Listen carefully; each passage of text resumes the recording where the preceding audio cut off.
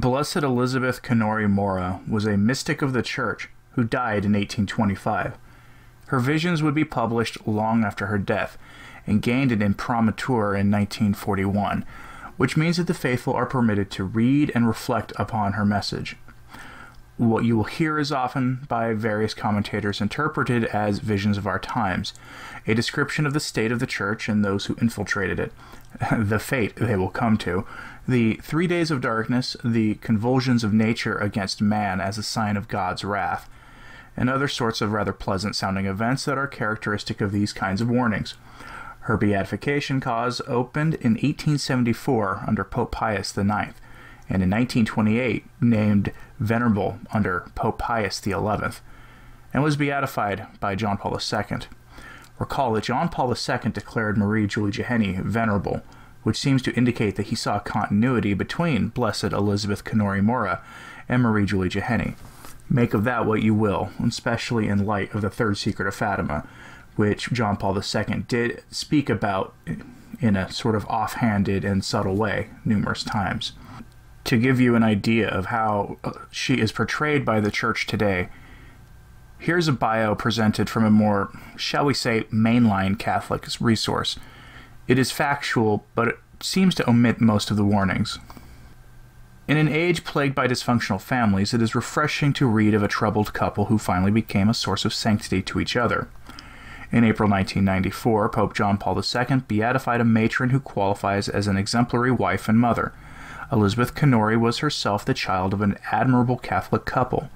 Born in Rome on November 21, 1774, she was sent to a convent school in Cascia. During her three years there, the Augustinian sisters were impressed by her high intelligence, spirituality, and self denial. On her return to Rome, she only increased in wisdom and good deeds. In 1796, she married Cristoforo Mora, a fledgling lawyer. Elizabeth had chosen her mate with deliberation, but after only a few months, he showed signs of personal instability. Swept off his feet by a woman of lower estate, he deceived his wife and alienated himself from his family, even failing to provide for it. Though battered and disdained, Senora Mora struck, stuck by the rules of Christian fidelity and self-giving. She, near, she almost died in 1801, but was mysteriously cured, and in this connection experienced her first mystical experience. Of their four children, the two girls survived. She supported them by manual labor, not neglecting, meanwhile, the regular domestic chores. Prayer and care of the sick and poor took up the rest of her every days. There are some persons to whom the, those in need naturally turn for assistance and strength. Elizabeth was such a person, and many sought her out for material and spiritual aid. She was especially attentive to other troubled families. The human family, she firmly believed, was the unit of society where peace could be best achieved through the practice of faith, responsibility, and mutual affection. She struggled to maintain that atmosphere in her own home and to communicate it to other households. For her, the model family was that of Nazareth, in which Jesus himself, as the central figure, set the tone for all the rest. In fact, she offered her whole life for the peace of the household of the faith, which is the church, for the conversion of her husband who had betrayed his own family, and for the salvation of all sinners. The Trinitarian friars have a third order. Signora Mora joined the secular fraternity in 1807. Under the guidance of the friars, she developed still more profoundly in her vocation to family life. Now her reputation for goodness and holiness became even more widely respected, not only in Rome, but in its suburban cities. Mariana and Luciana Mora showed themselves her true daughters when they took care of their mother during her last illness. She died on February 5, 1825, and was buried in the Trinitarian Friars Church in Rome. Before her death, she had predicted that Cristoforo, the husband of her grief, would eventually come to, his senses. Her constant prayer for his conversion was answered shortly after she died. The straying lawyer made his peace with God and himself joined the Trinitarian Third Order. Later on, he entered the conventual Franciscans and was ordained a priest, dying in 1845. Fidelity in marriage is not an easy virtue, but it is a creative one. Cristoforo Mora learned that only gradually. His wife, early, early aware of the need to imitate Christ's own commitment, was truly faithful unto death. Those are the words of Father Robert F. McNamara for the St. Kateri Center. Now I present the approved message of Blessed Elizabeth Canori Mora. On the feast of St. Peter, 29th of June, 1820, whilst I was praying for the wants of the church and the conversion of sinners, amongst whom I am the first, I was ravished in spirit and drawn very near to God. Through an infinite light, I was so intimately united to him that I lost all sentiments of myself. The sweet impressions of the love of God replenished me with an inexpressible joy and satisfaction. My soul, however, remained calm in these tokens of divine kindness. Then it seemed to me to behold the heavens opening, and St. Peter, Prince of the Apostles, coming down, surrounded with great glory, and by a numerous escort of heavenly spirits, singing canticles. St. Peter was dressed in his pontifical robes, and held in his right hand the pastoral staff, with which he used to draw upon the earth an immense cross. At the same time, the angels sang these words of the psalmist Constitutes et principes super omnem terram. You will constitute them princes over the whole earth. After this, the holy apostle touched with his staff the four extremities of the cross, from which sprung up four beautiful trees loaded with blossoms and fruits. These mysterious trees had the form of a cross and were surrounded by a splendid light.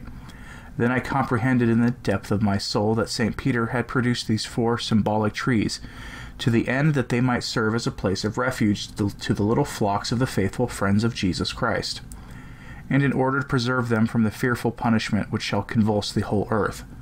All good Christians shall be protected under these trees, together with all those religious persons who shall have faithfully preserved in their hearts the spirit of their order.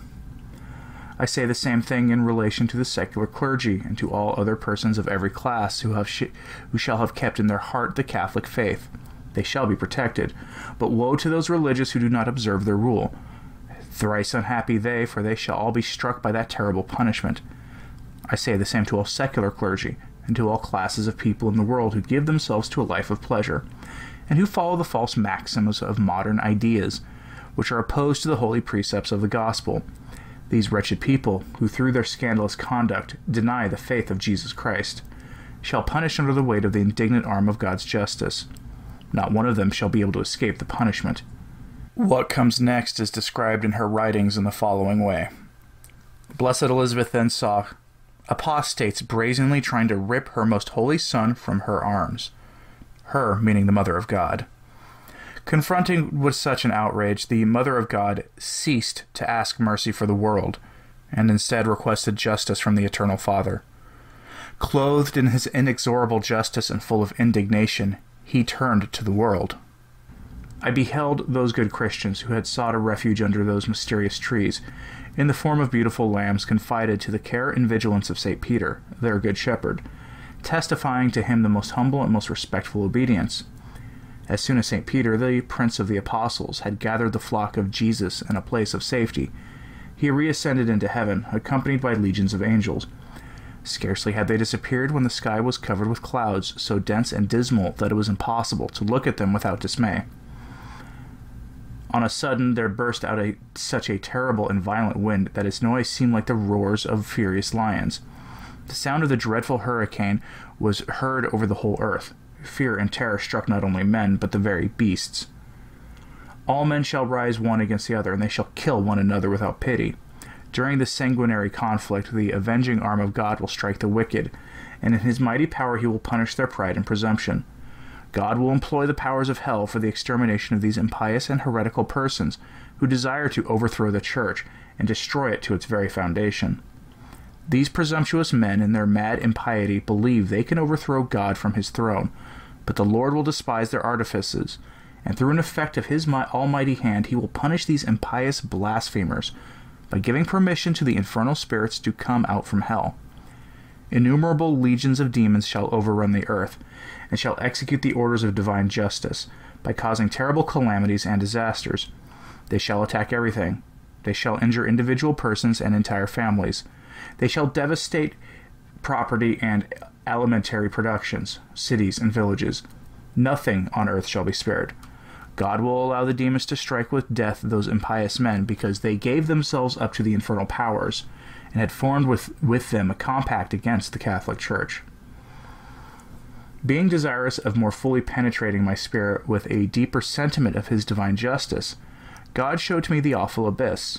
I saw in the bowels of the earth a dark and frightful cavern, where an infinite number of demons were issuing forth, who under the form of men and beasts came to ravage the world, leaving everywhere ruins and blood. Happy will be all true and good Catholics, They shall experience the powerful protection of the holy apostles, Saints Peter and St. Paul, who will watch over them lest they may be injured either in their persons or their property. Those evil spirits shall plunder every place where God has been outraged, despised, and blasphemed. The edifices they profaned will be pulled down and destroyed, and nothing but ruins shall remain of them. After this frightful punishment, I saw the heavens opening and St. Peter coming down again upon earth.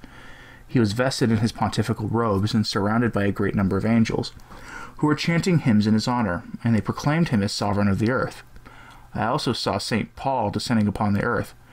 By God's command, he traversed the earth and unchained the demons, who he brought before St. Peter, who commanded them to return into hell, whence they had come. Then a great light appeared upon the earth, which was the sign of the reconciliation of God with man. The angels conducted before the throne of the Prince of the Apostles the small flock that had remained faithful to Jesus Christ. These good and zealous Christians testified to him the most powerful, profound respect, praising God and thanking the apostles for having delivered them from the common destruction, and for having protected the Church of Jesus Christ by not permitting her to be infected with the false maxim of, of the world. St. Peter then chose the new pope. The church was again organized. Religious orders were re- reestablished. The private families of ordinary Christians, through their great fervor and zeal for the glory of God, became like the most exemplary religious communities. Such is the glorious triumph reserved for the Catholic Church. She shall be praised, honored, and esteemed by all men. All men shall become Catholics and shall acknowledge the Pope as vicar of Jesus Christ.